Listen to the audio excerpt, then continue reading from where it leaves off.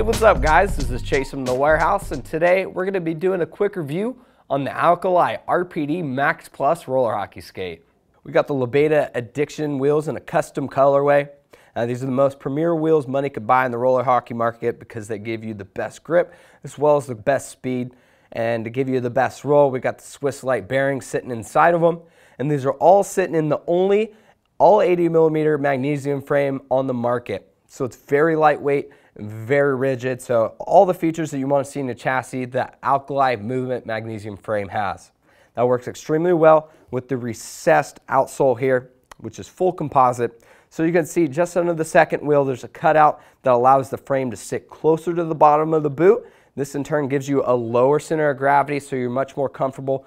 You got a much more natural feel as you're taking your strides out there.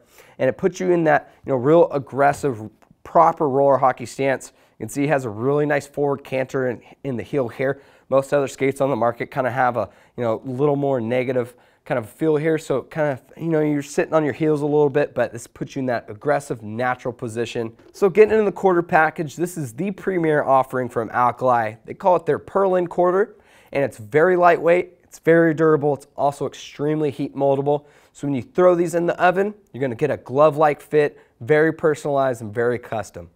Now they did up the overall level of durability on these skates this year with these nice strategic wear patches on the outside and inside parts of the quarter. And they did upgrade the tendon guard as well from last year's RPD Max. As you can see, it has a great looking injected piece, but it's also very flexible. So as you're taking your stride, you're completing your stride with that toe snap, you're gonna be able to fully complete it and get all that power necessary out of it. And then looking at the tongue, I've always been a fan of a big white felt tongue with a lot of thickness to it. So see, tons of high density foams behind it. It's also fully ventilated here, so you're gonna get that good airflow. They included a nice injected plastic piece down through the center. So that works extremely well with those high density foams that give you good lace bite and impact protection on the top of the foot here. And like I said, they are thermoformable, so when you throw these in the oven, even the tongues can give you a customized fit and you're looking to get that nasty little flop, you just kind of break it in. You can definitely get some major floppage. If you want to go under the shin guard and get a nice, you know, anatomical wrap, you're going to be able to get that too. Now, getting into the liner here. This is the Active Wick Moisture Wicking Anti-Slip Liner. Has a nice soft feel to it. It's got some great foams deep down inside of it. But the thing I really like is that anti-slip property. When your feet get wet, it gets sweaty, they start sliding around, that's when you lose power. So this makes sure that your feet stay planted and you're ready to go at all times.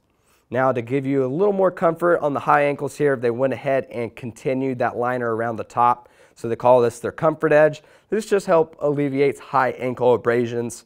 And then deep down in there, you can see the two Hyperlock L bars that is kind of Alkali signature design because this really helps to lock in that heel, making sure you don't get any heel slippage.